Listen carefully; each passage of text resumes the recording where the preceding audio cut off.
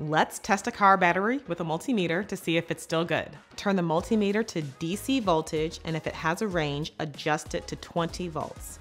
Touch the negative probe to the negative terminal on the battery and the positive probe to the positive terminal. The resting voltage of the battery should be no lower than 12.6 volts. Now, have someone start the car while you keep the probes on the battery.